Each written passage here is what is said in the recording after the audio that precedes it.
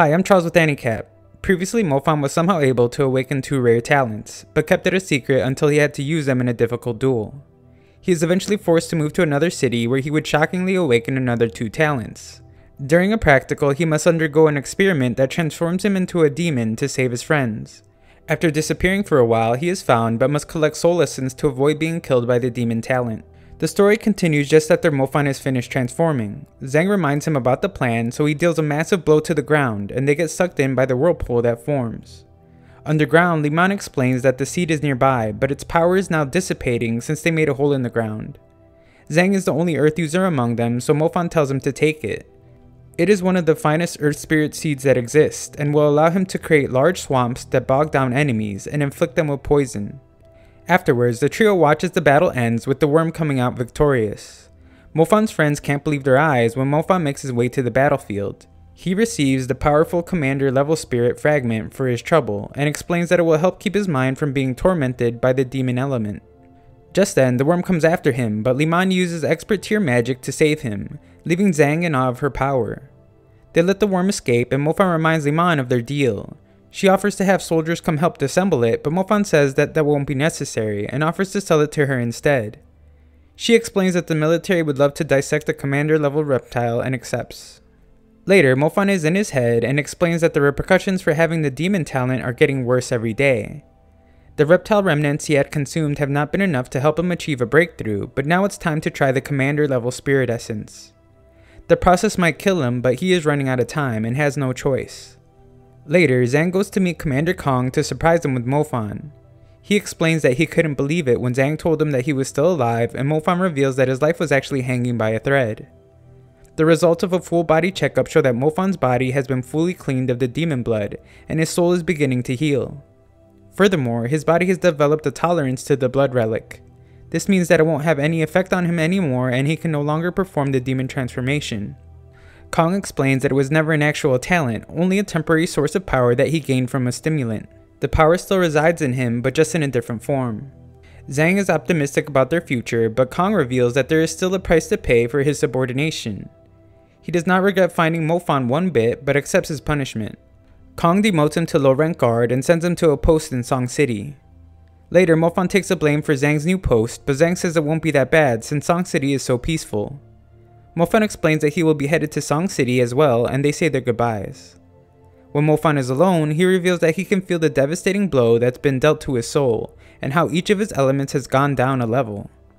Elsewhere, a man named Lin fortifies a damaged bridge to help Zenzaya cross even after she rejected his assistance numerous times. Girls nearby remark how popular he is and can't understand why he keeps approaching Zenzaya. They assume that it is out of pity and openly mock her about her disability. Lin tries to stop them, but the girls continue their nasty insults. However, in that moment, Mofan appears to shock them and explains that his sister isn't someone they should mess with. They can't believe he would do that to a group of ladies, but Mofan says he only sees a group of fish in the water. They challenge Mofan but instantly regret it when he gives them a taste of his lightning magic. Lin is amazed at such absurd power and Zenzaya rushes to greet her brother. The two catch up and Lin arrives to introduce himself to Mofan. Mofan has no interest in speaking with Lin, but he explains that he is just looking out for Zenzaya. Mofan points out though how he had not done anything when she was being bullied, and believes that Lin cares more about protecting his popularity. Lin doesn't take the disrespect lightly, and onlookers can't believe someone would try to talk down to the Ice Prince of Song City. They explain that guys are always trying to talk to Zenzaya, but they all fear the powerful Lin.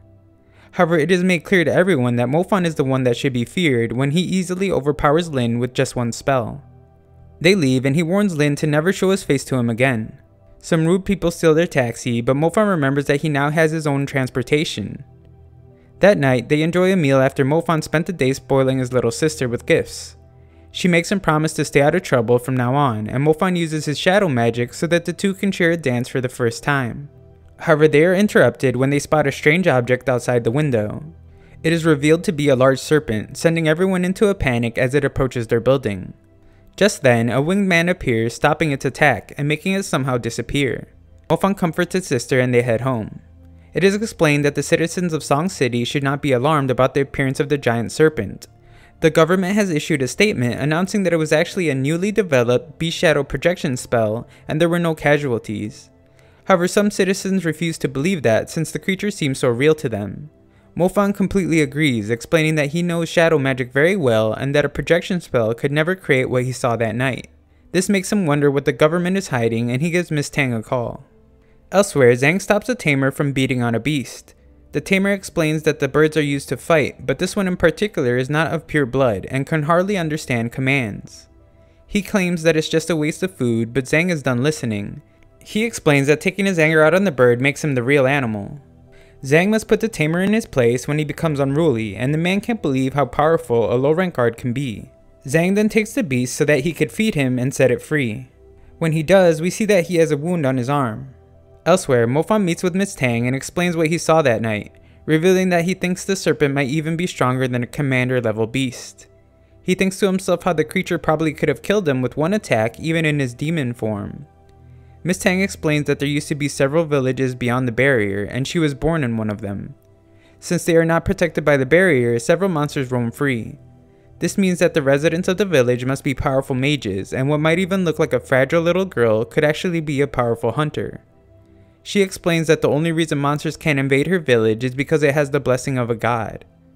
Mofan eagerly wants to know which god it is so he could pray to it for some of that good protection, but she reveals that he has already seen it. Mofan is shocked to hear it's the snake. He is convinced that her and the other villagers must be snake people. She says that kind of stuff is taught in history class, but he reveals he never really listened in class. The villagers don't usually share their information with outsiders, so Mofan remarks how they should get married so they don't have any secrets between them.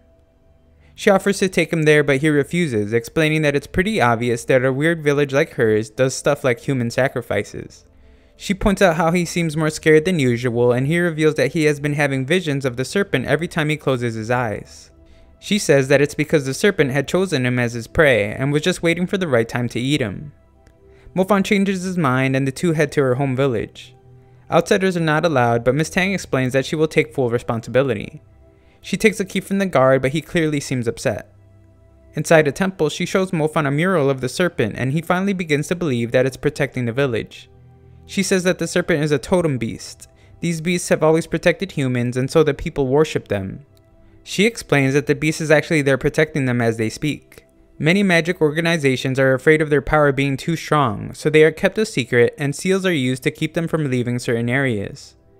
Guards are in charge of keeping them from being revealed and she is one of them. Furthermore, no one knows how or why it appeared in the city, and she explains that it normally only reveals itself when it senses a powerful threat. She chose to be in Bo City because of the possibility that there might be totem beasts somewhere there. Mofan remembers how Zenzaya said something similar and thinks about what else the Black Curia want from Bo City.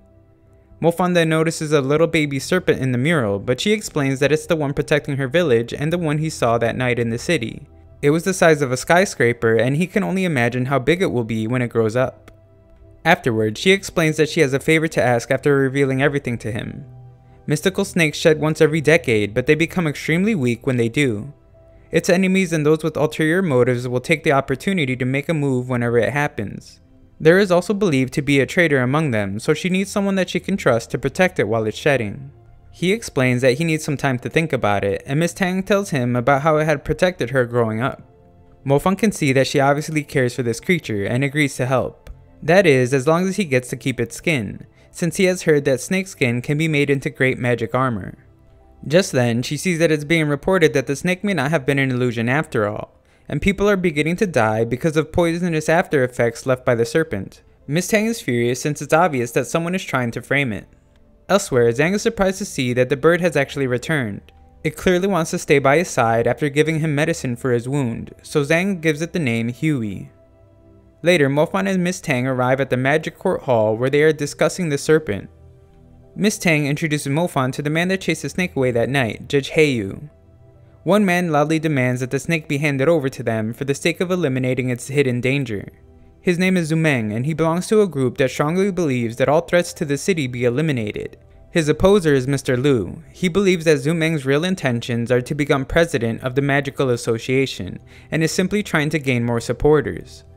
Zumeng says that they should reveal to the public that the Magic Association is raising a giant snake that has the ability to wipe humanity off of the face of the planet. Miss Tang speaks out of turn, but the head of the association, who is also her uncle, agrees that they shouldn't jump to conclusions. However, Zumang demands that they hand over the serpent in the next day or warns that they will take it by force. Afterwards, the head of the Magic Association named Zong decides that Miss Tang must take it somewhere safe. Heyu would like to accompany her, but it's explained that the snake becomes extremely wary during ecdysis and will regard high level mages other than Miss Tang as enemies. Heyu is skeptical that Mofan can do anything against Zumang's high ranking guards, but the head says he is the only one that can help since he is a mid tier mage. That night, Miss Tang explains that they will transport the snake in a totem pearl. It has energy that can sustain the life of the mystical snake, but once the energy runs out, it won't be able to survive inside and must be released. She calls out to the beast and once it appears, explains that she will take it somewhere else for its shedding. She introduces Mofan as a naughty, disobedient student, and it seems to recognize him from the city. She performs a ritual and reassures the beast that nothing bad will happen. Mofan can't believe the giant thing is actually in the pearl, and Miss Tang tells him to stop fooling around, since they need to leave right away. Mofan calls in Xayah to tell her that he will be gone for a while, but hears lots of noise around her. She explains that she's helping out at the hospital since lots of students have come down with a strange disease. Elsewhere, Zumang scolds his subordinate for allowing the snake to get away and orders that Miss Tang be arrested. We see that Mr. Lu is there as well, and he explains that he wanted to warn them about the Totem Clan's plan. However, Zong seems to be suspicious of him and was keeping him busy. Mr. Lu has a plan though, and decides that they will send every intern in the magic court to capture them. The serpent will only detect high tier mages, but the interns are only mid tier, so they decide to send them all. Elsewhere, we see that Mofan and Miss Tang are being directed by the serpent and have stopped to get some rest. Everyone there is wearing a mask though, and it is explained that the people in that city are being afflicted by a strange disease. The news has spread and everyone now seems to think that the snake is the cause.